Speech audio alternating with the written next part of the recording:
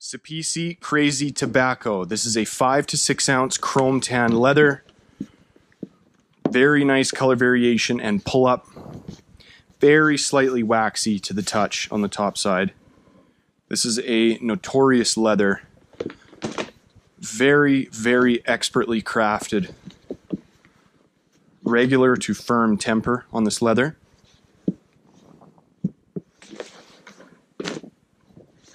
And the flesh side is a more golden tone with zero extra material, fuzz, or fiber to work around or deal with. Very distressed in appearance, very nice leather overall. So if you have questions, reach out, and if not, I'll see you in the next review.